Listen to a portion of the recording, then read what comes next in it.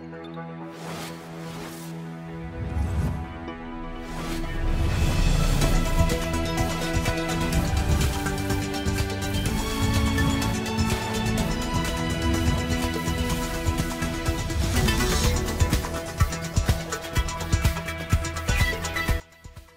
Una notificación de la sección segunda de la Comisión de la Propiedad Intelectual al conocido foro de Internet vagos.es, en aplicación de la llamada Ley Sinte, ha provocado que sus responsables anuncien el cierre cautelar y voluntario del foro. En un comunicado, la empresa responsable de vagos.es, afirma que el cierre del foro se produce tras haber efectuado una copia de seguridad de los mismos y hasta poder determinar, a la vista del expediente administrativo, cómo adecuar la actividad de la página a la nueva situación política y jurídica. Dada la situación creada por el inicio de actividades de la sección segunda de la Comisión de Propiedad Intelectual, dicen los responsables de vagos.es, el sitio está estudiando su repercusión en los derechos a la cultura y a la libertad de expresión de los usuarios de los foros. Según ha podido comprobar directamente el navegante, el foro vagos.es permanece clausurado desde alrededor de las 15.30 horas de ayer viernes 22 de junio,